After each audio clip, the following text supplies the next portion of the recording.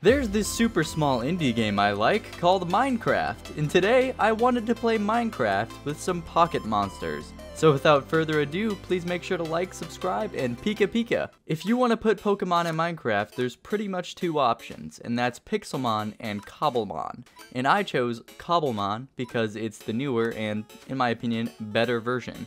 So, we got that, and we also get to choose our own starter, and I'm not picking anything but Mudkip. Why would I not pick Mudkip? It's the cutest thing in the universe.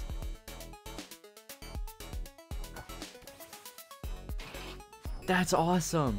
What is this little thing? So you may have noticed right away, but I always pick my Pokemon based on how cute they are, instead of how functional they are. So, yeah. Okay, let's fight. Rock throw. you thought I was serious. No, Mudkip is a savage. I just killed the Pokemon. That's so messed up. I was tired of slaughtering Rookies, so I went up and found this apricot tree, which if you don't know, can be used to make Pokeballs once I get some iron and copper. I also found this goofy ah big ah bird, but apparently it's a gentle giant, so we're chill. Dude, look at this thing. I wanted to make some Pokeballs, so after getting some more apricots, I picked up some iron and copper. And here we are making our first set of Pokeballs, and I'm really happy this mod gives a use for Copper, because Copper is so stupid in vanilla Minecraft. And pretty much right away, I picked up the worst Pokemon in the entire game. This thing sucks. I would have rather had a Caterpie than this. This little critter decided to not evolve the entire time, and I'm telling you this right now because I want you to point and laugh at this stupid little Pichu.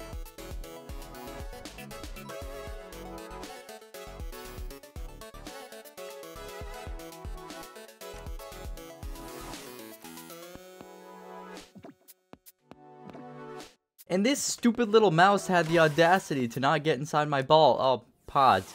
But still, it took three tries to get him in my balls. What the hell, man? Let's go! W Pichu! W Mudkip!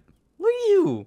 Now here's a cool little critter. Rookidee was actually a good addition to my team. And you may be thinking, Gehnz, are you gonna build a house at all? Oh boy am I. So I went ahead and got some sand, I got some poppies, I got some bones, I got some gravel, and I built the coolest house you've ever seen. I'm super proud of this house, even though I had to kill some poor squids for that black ink. But yeah, this house is probably my best so far. I'm not great at building at all, so I thought this was definitely a, a, good build. And if you wanted to see the inside, here you go. Oh, they grow up so fast, don't they? Already level 11. Yeah, but leveling aside, I ended up mining some more, finding a mine shaft, which is pretty cool, and getting a full suit of iron armor. Emolga over here used to be one of my favorite Pokemon back in the day, but uh, not so much anymore. I was still yearning for the mines though, so I went back in and found some diamonds. Oh shit, oh diamond! Let's go! Diamond! It's only one, but who cares? While I was in the caves breathing in that nice fresh coal dust, I found this stupid little Pokemon which gave me something I needed a lot in the future. The Lush Caves biome happened to be right next to that little dude, and this was a major blessing because this biome housed my next Pokemon, and a very important item I needed later on. And here he is, my next Pokemon, or she actually, Roggenrola, and this sucks because I can't get Gigalith. I am not playing with anyone and you need to trade him to get Gigalith, and I didn't realize that until way later on, so, ah.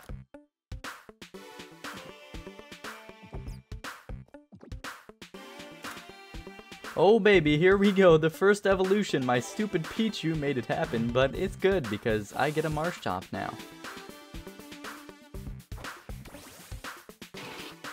How do I evolve him? He's evolved.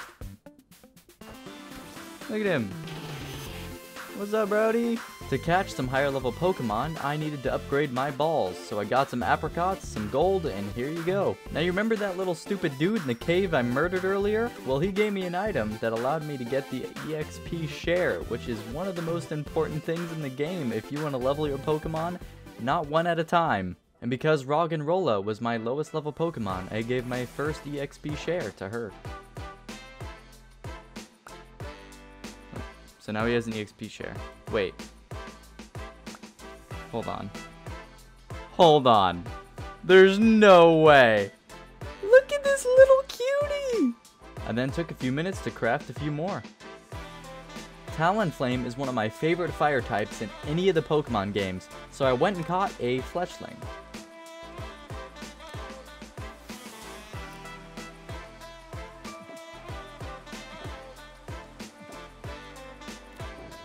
For the first time in any of these Minecraft playthroughs I've done, I needed to go to the nether, so I crafted a diamond pickaxe to get some obsidian.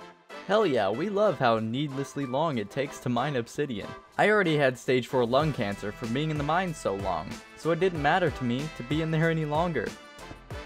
I didn't want this filthy portal to be anywhere near my house, so I made a little platform into the water for it. I'm not even gonna toot my own horn here, I haven't built a nether portal in like 5 years. I'm surprised I still knew how to do it. And here we are with my flint and steel, and right into the nether we go.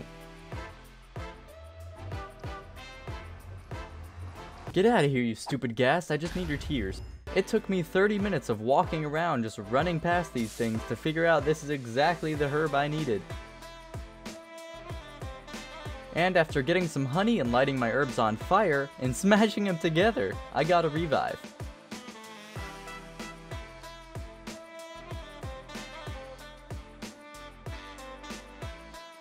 Now you may have been wondering, Gehnz, do you need this revive for anything special at all? Well, let me tell you, I can make a healing station with this, and with that, I can actually fight these Pokemon instead of sleeping through the night, fighting for might be like two minutes, and then sleeping through the night again. It's It's been so annoying.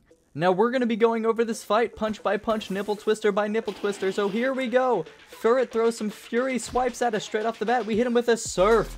He has already hit us for like half our health with those stupid Fury swipes, so we go ahead and switch to our Fletchinder. This Furret wants us to follow him, but he fails because he's an idiot. Or it's actually she. Anyways, he uses Fury Swipes on us again. Who would have thunk it? So we Flame Charge right into this stupid face. And our Speed Rose, that's it. Now I growled at him because he's an idiot, and he made us fucking hurt with that scratch. Oh, and acrobatics. Oh, baby, some more Fury Swipes. Who would have thunk it? And it's hurt by its burns again. Those burns are coming in clutch. So we're switching right over to that Pichu. Look at this stupid idiot. Looks like a fucking stuffed animal. And Fury Swipes again. Critical hit straight down the pipe. No one likes you, Pichu. Back out. The Marshtomp is going to finish this up. Is it or not? I don't know. So we're going to go ahead and throw that surf right back out there. But he scratches us first. Now this Furret is already super low, and these burns hurt him some more, so we have to finish this off with a quick water pulse. Water gun, I was wrong.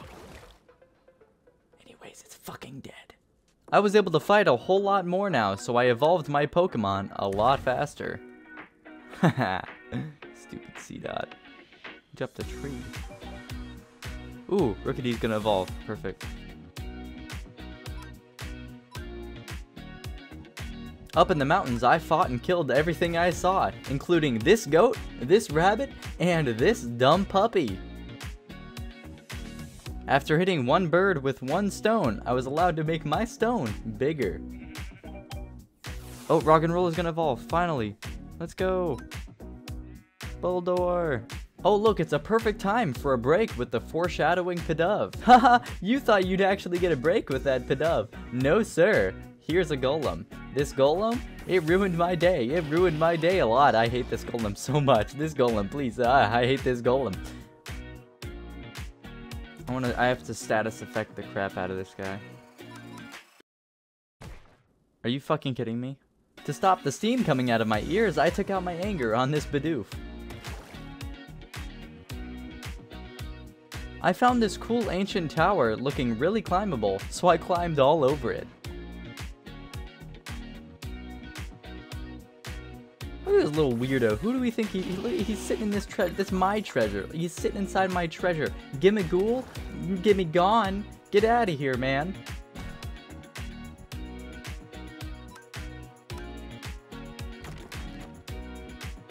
Further up the tower, I found a Doublade, which is actually a really, really good Pokemon, but I only go after cute and cool looking Pokemon, and this guy is just some swords.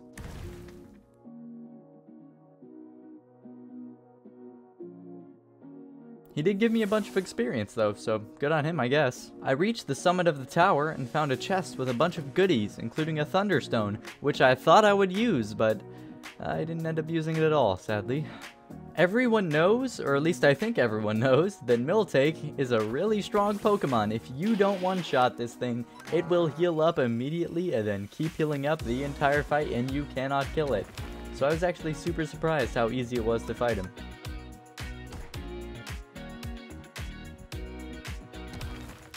You just have to kill him before he can heal. Simple. Ooh, Fletchinder's gonna evolve, okay. Finally. Take a look at him. Look at him. Can you ride him? I was actually already on my shiny hunt by now because I was pretty much leveled up as much as I felt like I wanted to be. But I found this cool stone guy, or weird. I don't know if he's kind of cool. But anyways, here's me speeding up the fight because it took way too long. I love hearing what things sound like when they're sped up. It sounds like there's a teddy bear being squeaked in the background.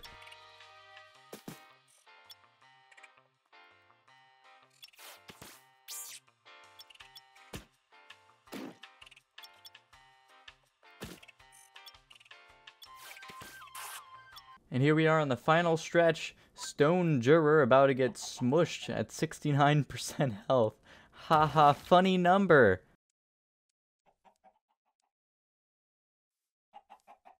This Diggersby looked at me funny, so I shoved my boulder right up his stupid floppy dirty ears. Yeah, that was, uh, so close to the word, so close to the word. But anyways, Marshtomp, look at Marshtomp, he's gonna level up, I'm gonna get a Swampert, oh baby. Look at my Swampert. Look at this guy. Can I ride you? I can't ride you. Why can't I ride you? I was so happy to find a Mareep. Mareep is one of my favorite electric types in the game, and Ampharos is so cool. So I was so, so happy to finally be able to catch one and get Pichu out of my party. Look, Batman, I caught this Lopunny. There's no laws against the Pokemon, Batman.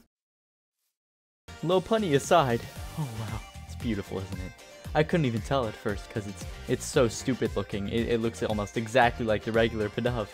Oh, oh my god, it's beautiful. It's beautiful. I didn't even know it was a shiny. Hold on. Wait, what?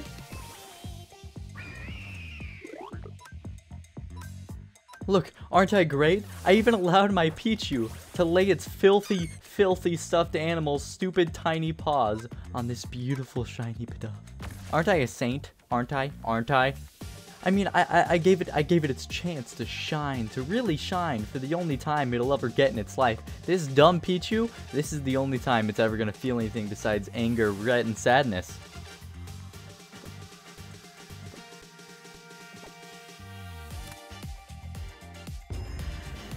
That that was a shiny Pidove.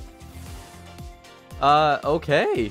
Now that I had my shiny, the last thing I wanted to do was get all of my Pokemon fully evolved. So I started with getting a Corviknight. Alright, now Corvisquire is going to evolve.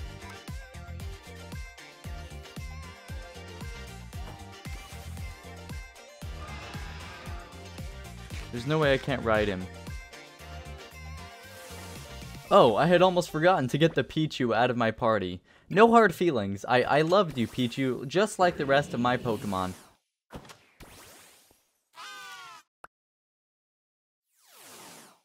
My god, it's Nessie. She's beautiful.